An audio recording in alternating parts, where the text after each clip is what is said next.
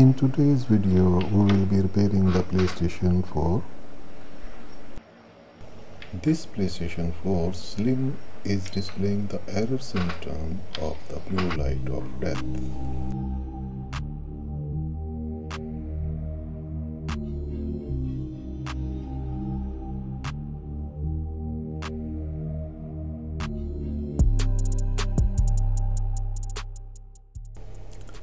As a common issue with PS4 systems, it results in the inability to display on the TV.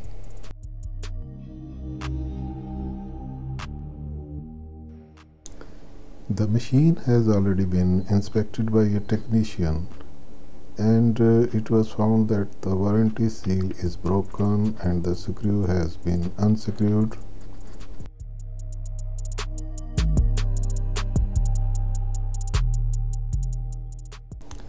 The interference resistant metal plate from the PSU is missing.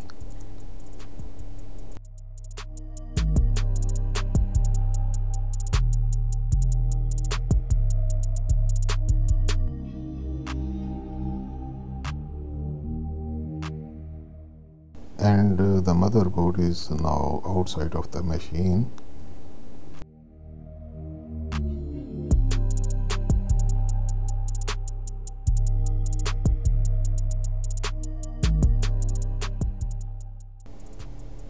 diagnose the issue, I will inspect all relevant parts and check their functionality.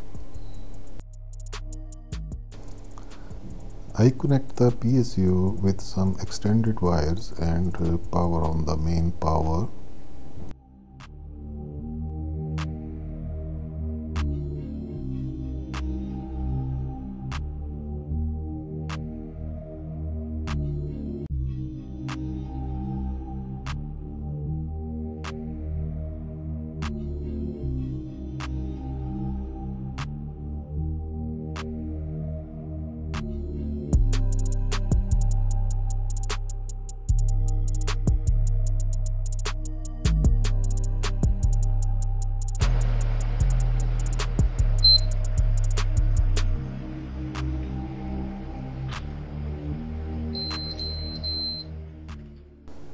I apologize, I forgot to put the heatsink on the APU.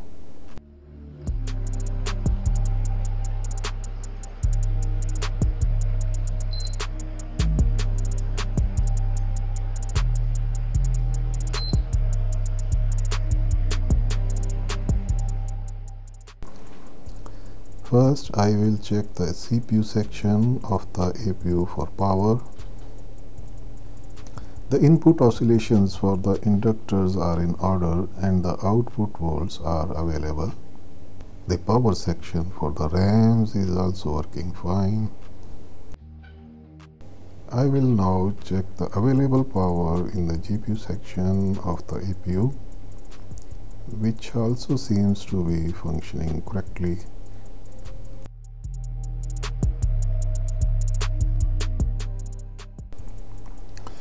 And the power section for the Southbridge chip is clearly in order because the system is turning on properly.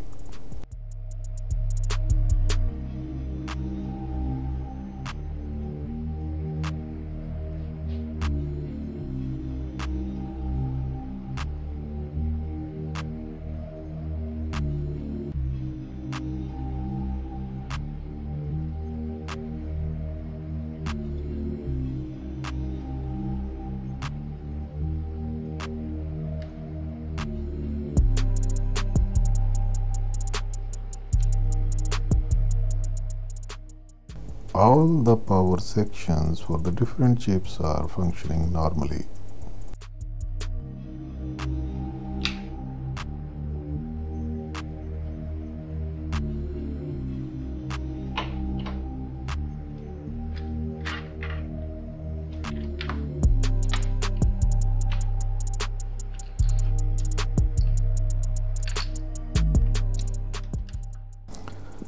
However, the problem could be in the RAM section.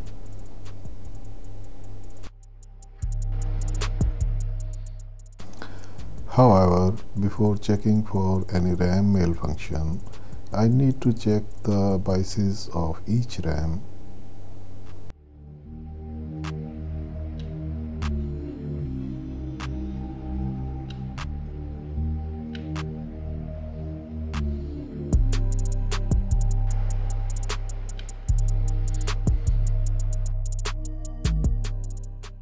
if you can see that each RAM has a pair of resistances.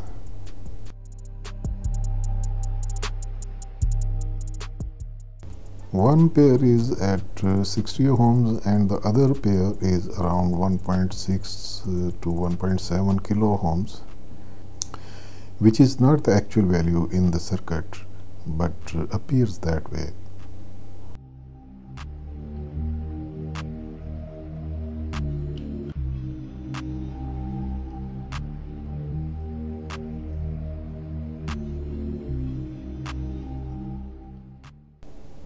Additionally, there is a single resistance for each RAM which has an actual value of 120 ohms.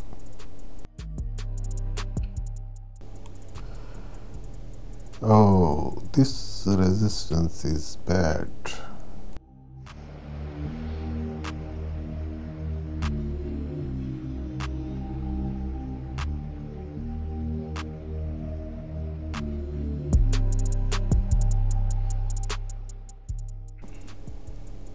Yeah I have found another one that uh, has malfunctioning and uh, I as I remember that there is no resistance of such a value around 6 kilo ohm or 6.61 kilo ohm. So this resistor has also changed its value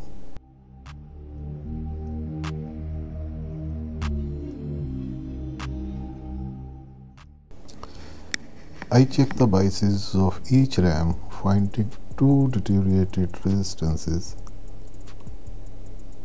One from the RAM BIOSes and uh, one from the APU BIOSes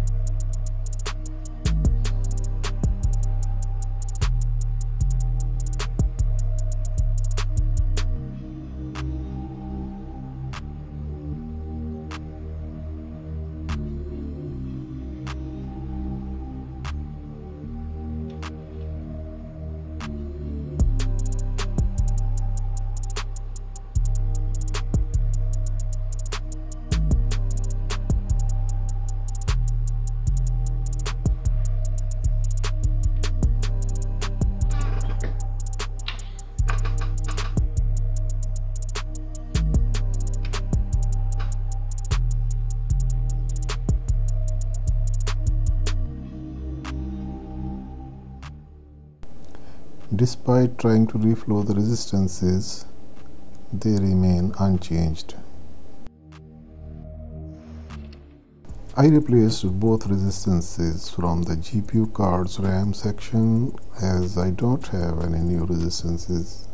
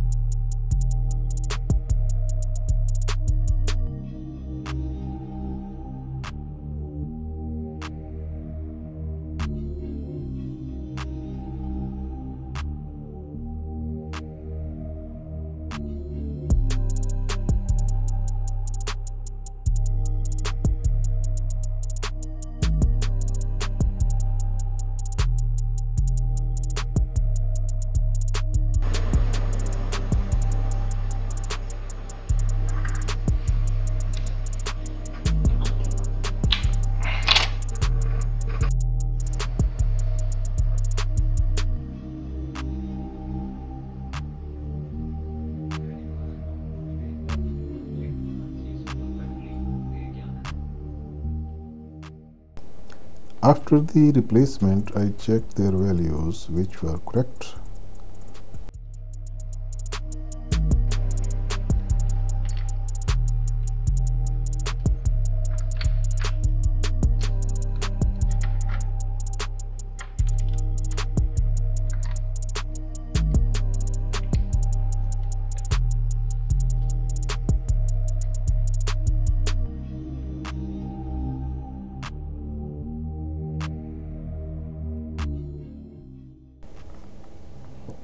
And after touching the peripherals I also applied a small amount of thermal paste to prevent it from turning off quickly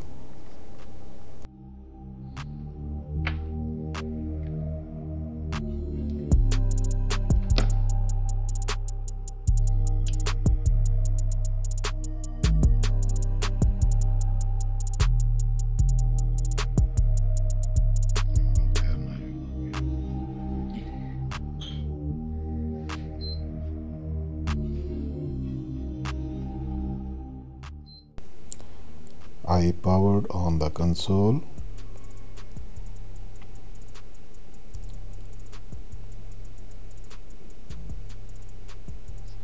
and the display appeared.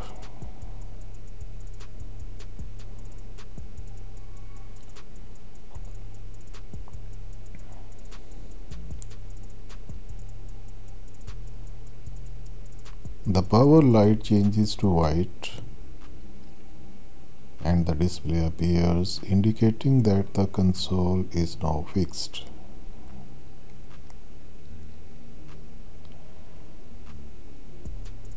I have successfully fixed this game console and it has been booted again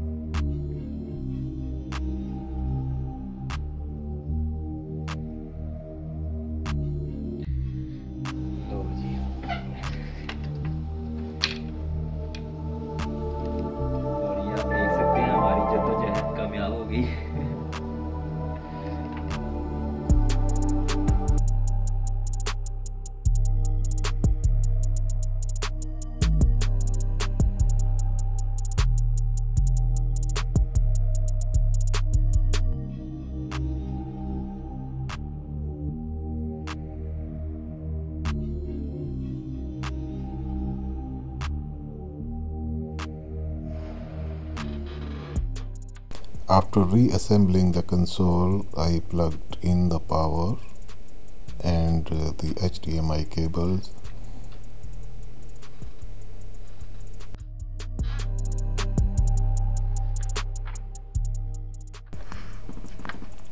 After plugging in the power and HDMI cable and turning it back on, the blue light is still flashing and the display is still on the screen.